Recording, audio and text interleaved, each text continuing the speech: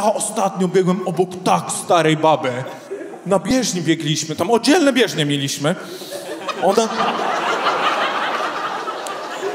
Ona na swojej biegła, nie? I w pewnym momencie na mnie patrzy i mówi Wojteczek? A ja nie jestem Wojteczek, ja jestem Sebastianek. Ja normalnie w takiej sytuacji bym spierdalał. Tylko ja już byłem na bieżni. Ja już Pierwszy raz musiałem się zatrzymać, żeby zacząć spierdalać.